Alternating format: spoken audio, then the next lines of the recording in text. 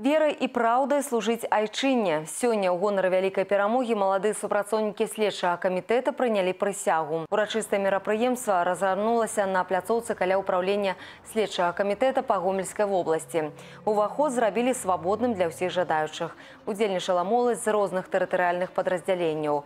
Сімвалічна, што клятвы вернасці радзіме і яе народу гучалі менавіта зараз, напярэдадні 9 мая. Такім чынам гомельскія следчыя ушанавалі памяць аб тых, хто змагаўся за перамогу. Таксама кіраўніцтва камітэта ўзнагародзіла супрацоўнікаў за паспяховую службу. День Победы – это один из основных праздников нашей страны, который объединяет всех нас с чувством гордости за подвиг наших предков.